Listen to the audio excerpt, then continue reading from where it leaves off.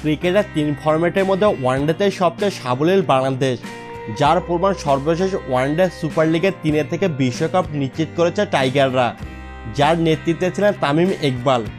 বিশ্বকাপে অধিনায়কতার আর্মব্যান্ড হাতের নিজ দেশকে প্রতিনিধিত্ব করবেন এমন স্বপ্নের মাঝে বাদ ছেদেছে বিরসিক ইঞ্জুরি তাই অনিচ্ছা সত্ত্বেও অধিনায়কতা থেকে সরে দাঁড়াতে হলো তামিম ইকবালকে।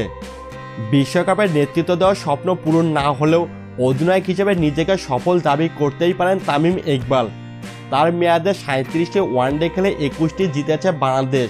জয়ের হার ছাপ্পান্ন দশমিক সাত, যেখানে তাইমের চেয়ে এগিয়ে কেবল মাস্টারফি বিন মোর্তজা।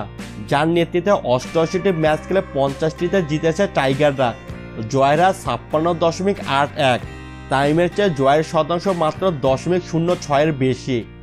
মাশরাফি বিন মোর্তজার ইঞ্জুরির কারণে দু সালে প্রথমবারের মতো অধিনায়কত্ব করার সুযোগ এনে দেয় তামিম ইকবালকে। সেবার ভারপ্রাপ্ত অধিনায়ক হিসেবে শ্রীলঙ্কার কাছে হোয়াইট ওয়াশ হয়েছিল টাইগাররা। এরপর দু একুশ সালে পূর্ণ মেয়াদে দায়িত্ব পান তামিম। ঘরের মাঠে প্রথম আসরেই বাজিমাত। ওয়েস্ট ইন্ডিজকে তিন শূন্য ব্যবধানে হারিয়ে অধিনায়ক হিসেবে উড়ন্ত সূচনা করেন তামিম ইকবাল।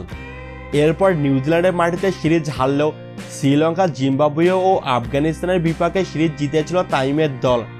তবে অধিনায়ক হিসেবে তামিমের সবচেয়ে বড় সাফল্য দক্ষিণ আফ্রিকার মাটিতে টাইগারদের সিরিজ জয়।